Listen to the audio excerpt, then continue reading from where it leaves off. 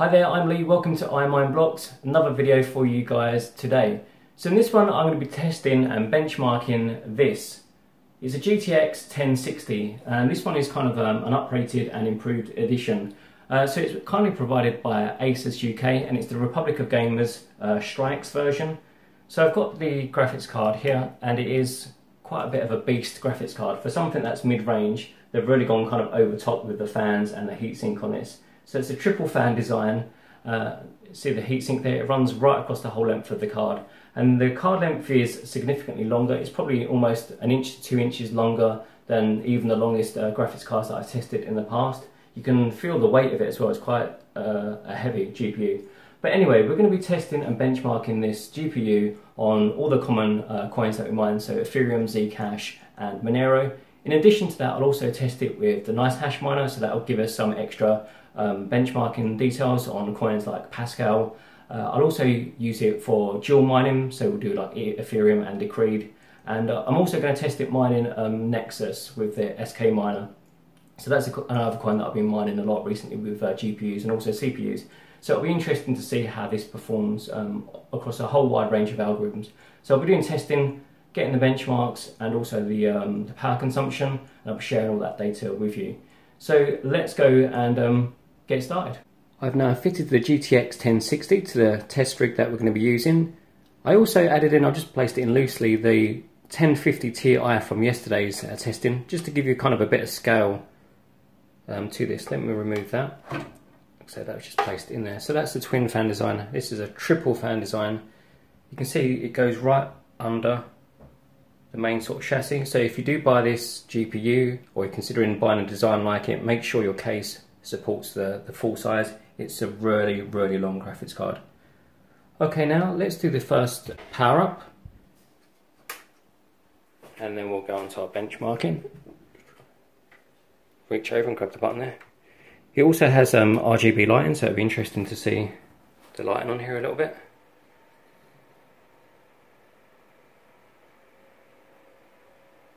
Okay, pretty cool. Let's move on to testing. Okay, so you should be able to see on screen we have the Claymore's dual Ethereum miner. So I'm currently mining in Ethereum only mode and it is the version 9.8 version. The drivers that I'm using for testing are 385.41. We've also got the GPU-Z running there as well so you can see the current core clock speed of 2050 and the memory clock of 1949. So I'm going to let the GPU manage its own clock speeds. I'm not going to interfere or change anything. I'm just going to leave it all running stock. But the GPU itself might sort of boost itself from time to time. So you can see I've been running for 24 minutes. Uh, the current temperature of this GPU is 59 degrees. Uh, the fan speed is currently uh, very low as well, uh, currently at 41%. So uh, the room temperature is quite warm. Uh, it's at 27 degrees Celsius. So continuing on with the benchmark, you can see from the Claymore Dual Ethereum miner, like I say, I'm running in Ethereum only mode, and we're getting just over 20 mega hashes. So we'll call it 20.1. Um, as we'll go through, uh, I'll be making notes of these uh, figures. And the total power consumption at the moment for the entire rig is 159 watts. So make a note of that as well. So that's our Ethereum mining statistic, so pretty good start. Let's move on to dual mining mode now. Right, so now we're using the Claymore dual ETH miner to mine Ethereum and Creed at the same time. So for Ethereum we're getting 19.4 mega hashes and Decred we're getting 194, yep we'll call it 194. So once again I'll make a note of these. Uh, the power consumption is up slightly versus Ethereum only, using a 100 and 170 watts when dual mining.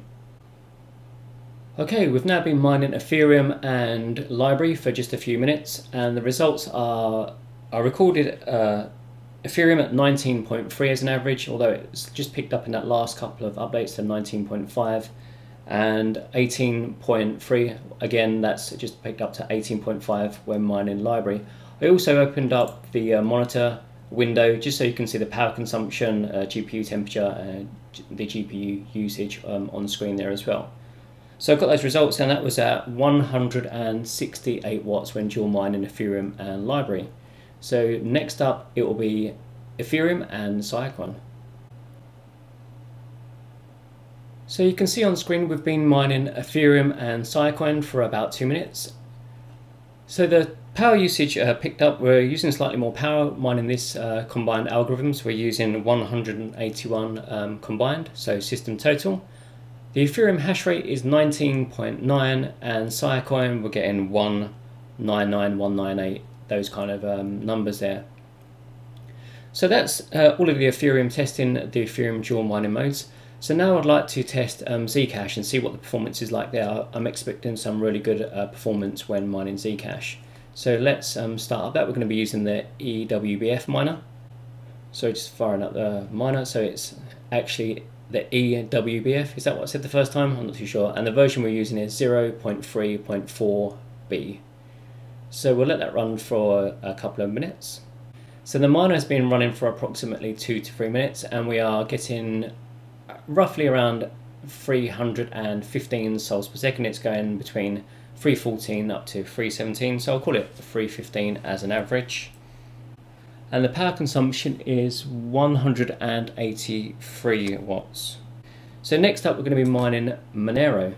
Okay, so I've just started up the Monero miner. So the miner that I'm using is this XMR miner and it's 0.2.1. The miner has been running for a, a few minutes now and we're getting a hash rate of 445 hashes per second approximately. So the interesting thing about this miner, and I had the similar results with the 1050 Ti I was testing yesterday, if we look at the chart we can see the performance or the power consumption.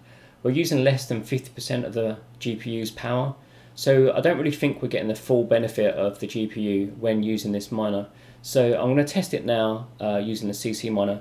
I'll just make a note of the power usage. So yeah, 115 watts um, total, which is very low. Okay, so I downloaded the latest version of CC Miner, so it is version 2.2.1 and tested it, set up the batch file and it's running. And the performance is very much similar to the previous miner, the XMR miner that I had. So they both seem to be based around the same um, coding. So we're getting only like one hash more really. So 446, 447, 446 and power usage is uh, roughly around the same, yeah, 115 to 120 watts system total. So that looks like all we're going to get when mining uh, Monero, but it does seem that we're using only really half the, the GPU's uh, potential. Okay, so next up, let's mine some Nexus. So we're going to be using the SK miner. Okay, so the Nexus miner is a solo GPU miner. So we've got the wallet already running. It took a little while to get it uh, loaded up. It does take quite a long time. Okay, so now let's mine Nexus. So the miner that we're going to be using is this SK miner. It's version 1.1. It's a solo GPU miner, so it connects to the local wallet, which is already running. Um, let's fire that up. So it's picked up our GPU, obviously GTX 1060, 6 gigabytes. Um, I've already benched this miner on the 1050 Ti. So on 1050 Ti, it was uh, hashing at 44 um, mega hashes. Uh, I've also had it running on my uh, GTX 970 and that gets uh, 65 mega hashes. So it's certainly off to a, a good start, the 1060. So 88 and 93, I'll leave it running for two minutes and we'll see what the average is. Right, so we've been mining for two minutes and the hash rate is 97.3. So that's a really good hash rate uh, for Nexus. Uh, it's currently beating my GTX 970, but I think that's because of that seems to overheat for because the fans don't turn fast enough. That's a completely separate story. Uh, power usage is uh, just gone down a little, 185 watts for the total system. So that's really good performance when mining um, Nexus. You can see the, the card is being utilized a lot more. If you look on the graph, you can see the power usage is 85% um, of the TDP. So that's uh, looking really good, making the best of that card. So for the final set of tests, I'm going to use the NiceHash miner. So it's the version 2, it's a new NiceHash miner that they've released. And it, what we can do is we can benchmark a whole bunch of different coins in one go. So I'll close the uh, Nexus miner. And now we'll start up the NiceHash miner. So they've recently done a big update and refreshed the uh, interface.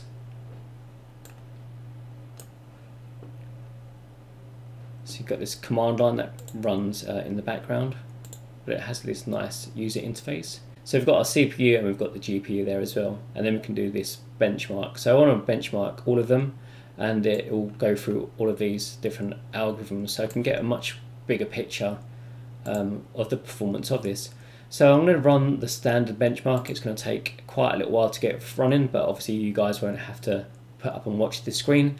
I'll do that for you. Okay, our NiceHash benchmarking has completed. So I can't share the power results for each one of the algorithms because each one is done in turn and I can't measure and do it all at the same time. But what I do have for you is the hash rates for each one of the algorithms that was tested. So let's start from the top of the NiceHash miner. So we've got the Lyra 2RE, so you'll be using that to mine coins like Vertcoin, and it is 27.89 megahashes We've got Ethereum, so it's Dagger Hashimoto, 19.28, so similar, slightly slower than when we mined using the Claymore's dual ETH miner. Here you've got, uh, again, Ethereum and Decred. So the Decred looks um, significantly higher. It's reporting, that might be something worth checking, so 18 plus 648. When I tested it with Claymore's dual ETH miner, we got um, 19 and 194. So it looks like to have some improvement there, or again, some sort of um, optimizations. Ethereum and Pascal, 8.94 Ethereum and 698.61 for Pascal. Siacoin and uh, Ethereum, or should I say Ethereum and Siacoin, 18 megahashes and 230 megahashes for Siacoin. Decred solo, or just on its own, 1.94, sorry, 1.96 gigahashes LBRY on its own 197 megahashes, which is the same as what we got. Um, sorry, no, my mistake. Ignore that. So LBRY on its own just 197. Equihash, which is your Zcash, uh, 278. So slower than when we tested it with the uh, EWBF miner. Uh, on its own 680.9 megahashes. Sia 1.2 gigahashes. Blake 2S uh, which 2.83. I'm not too sure what algorithms use Blake 2s. Um, I know Siacoin uses a Blake derivative or algorithm. I'm not too sure what coins use Blake 2s. It'll probably come to me as soon as I close this uh, section of the video down. So I'll close a NiceHash miner now. But I wanted to share those extra results with you. So that covers pretty much everything. I'll try to give you a broad range of um, testing. So that is it. Let's um, let's wrap up here. Okay, so that is just about it for this video. Thank you so much for watching. I hope you enjoyed it. So in this video I tried to cram in as much as possible, test that graphics card on a whole bunch of different algorithms to give you guys the best um, view on the type of um, capabilities of this GPU.